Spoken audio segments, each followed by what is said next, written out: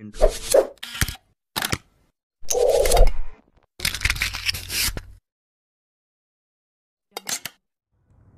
عليكم ورحمة الله وبركاته. سلطان العبد من ابتكار وهذه الحلقة الأسبوعية اللي بنعطيكم فيها أهم الأخبار التقنية. والبداية مع جوجل وجوجل تغير اسم نظام أندرويد كيو إلى أندرويد 10 وأيضا غيرت شعار أندرويد وهذه الخطوة كانت جميلة. عشان كده إحنا ارتحنا من هذه الأسماء البايخة اللي كانت أول تسميها جوجل. فمثل كيت كات لولي بوب وغيرها من الأسماء كانت جوجل تسمي أنظمة أندرويد بأسماء حلويات. وهذا الشيء أصلا بعيد كل البعد عن التقنية. لكن الحين أخيرا جوجل غيرت هذا الشيء. واللي أنا شخصيا ما كنت أحبه وصار الحين اسم النظام أندرويد 10 وكده حصلنا على اسم ممتاز وكمان جوجل ما وقفت عند الاسم بس وغيرت الشعار. أول كان الشعار شعار روبوت كامل بكامل الجسم لكن الحين صار رأس الروبوت فقط وكده صار الشعار أنيق أكثر وأجمل. وأخيرا يا جوجل هذا أفضل شيء سويتيه هذا السنة.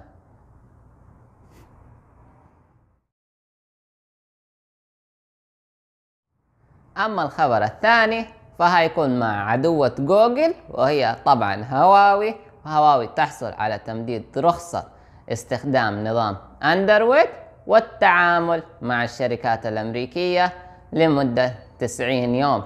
وهذا الشيء هيعطي هواوي وقت أكثر عشان تطور نظامها وتستعد أكثر لهذا السوق.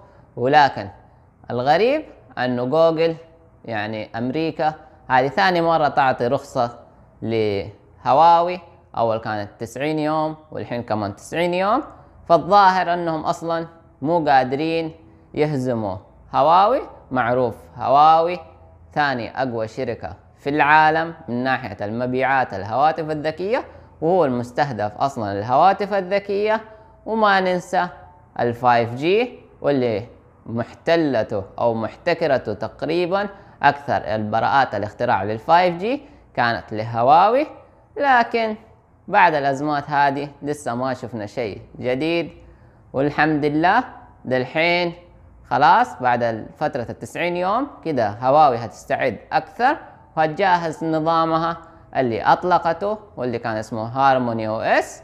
والحين إن شاء الله هنشوف منافسة تصير أقوى لكن الغريبة أنه هذه ثاني مرة أعطوهم تمديد للرخصة فالظاهر أنه ما يبغوا يسحبوها أساسا من هواوي. وإلى الآن اللي كسبت هواوي لأنها حصلت على ضجة إعلانية كبيرة فكأنها حملة تسويقية كبيرة حتى رئيس هواوي قال إحنا كسبنا حملة كبيرة هذا اللي صار بيننا حسب كلامه أعلى من إذا إذا حبوا يسووا هذا الشيء كان يبغى لهم مليارات عشان يوصل اسمهم لهذه الدرجة. لكن الحين خلاص إن شاء الله بعد ما أطلقت نظامها إن شاء الله نهاية السنة هنشوف نظامها مع ساعات ذكية وكمان هواوي أعلنت رسميا أو أكدت رسميا أنه ما راح نشوف هاتف يحمل نظام Harmony OS في هذا العام وهذه الخطوة كانت ذكية. واصلا أنا كنت متوقعها والكثير كان متوقعينها وهواوي أصلا أعلنت في مؤتمر HDC أول جهاز يحمل نظام Harmony OS وهي شاشة Honor Vision فإذا كنت متحمس عشان تشوف هذا النظام فيبغى لك تشتري شاشة Honor Vision.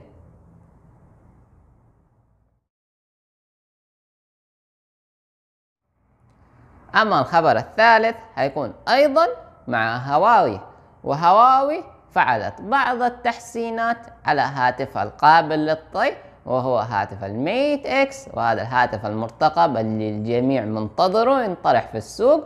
وأنا منهم متحمس إن شاء الله نشوف هذا الهاتف. وهذا الهاتف كان سيطلق في سبتمبر الشهر القادم ولكن هواوي أجلته أجلت الإطلاق الرسمي لبعض الأسباب فمنها مشاكل كانت في الجهاز لكن الآن هواوي.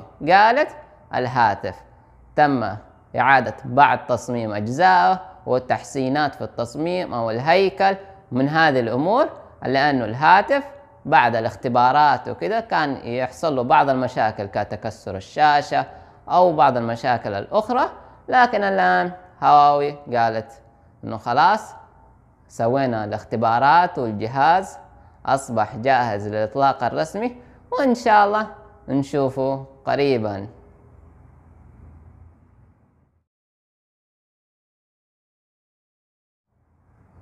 أما الخبر الرابع هيكون مع ريدمي وريدمي ستطلق قريبا هاتف بمستشعر 64 ميجا بكسل والغريب أنه حاليا سوق الهواتف الذكية أصبحت كل شركة تعلن عن مستشعر برقم كبير حتى الأرقام دي ما شفناها في الكاميرات الاحترافية مثل ال DSLR ولكن طبعا المستشعرات اللي في الهواتف يكون حجمها أصغر والميجا بكسل حتى يكون أصغر ولكن ريدمي أعلنت عن مستشعر لهاتف هيكون بدقة 64 ميجا بكسل هيعطينا تصوير ممتاز في الإضاءة الخافتة أو حتى في أي إضاءة لأنه 64 ميجا بكسل إلى الآن ما شفنا هاتف في السوق بهذه الدقة. وكمان أوبو أعطتنا هاتف 64 ميجا بكسل وأيضا ننتظر الإطلاق الرسمي لهذه الهاتفين.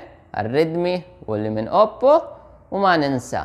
في الحلقة الماضية أعطيناكم واحد الأخبار سامسونج أعلنت عن مستشعر وهذا أكبر مستشعر إلى الآن وهو مستشعر 108 ميجا بكسل وكده سامسونج حطمت الأرقام هيكون لها مستشعر كاميرا لهاتف ذكي بدقة 108 ميجا بكسل هذا رقم كبير ولكن إن شاء الله هنشوفه. لكن للأسف ما راح يكون لأحد هواتف سامسونج ولكن أكبر التسريبات قالت أنه هذا المستشعر هيكون مع أحد هواتف شاومي. وإن شاء الله نشوف هذا الشيء. وفي بعض التسريبات أشارت أنه مستشعر ال 108 ميجا بكسل حق سامسونج يمكن نشوفه في هواتف سامسونج ال S 11 وال Note 11 السنة القادمة. أعطينا رأيك. هل هنشوفه السنة القادمة أو أما لما ننتقل للخبر الأخير هو هيكون مع أبل وآخر التسريبات أشارت أنه أبل ستطلق أكثر من هاتف في الشهر المقبل وهتعطينا واحد من هذه الهواتف. هيكون اسمه ايفون 11 Pro وهذا الهاتف هيدعم الشحن السريع وهيكون الشاحن السريع في نفس علبة الهاتف. والخبر اللي أكبر من كده أنه هذا الهاتف هيدعم قلم ذكي. نعم قلم ذكي.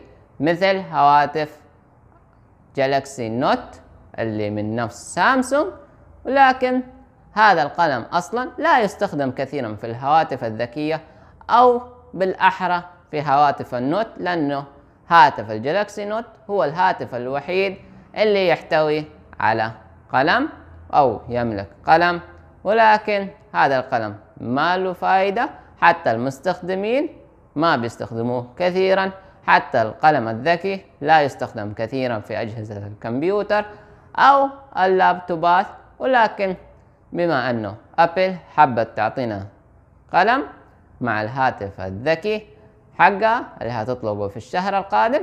فإن شاء الله نشوف مميزات كبيرة وكلنا نعرف أنه أبل دائما تصنع المفاجآت.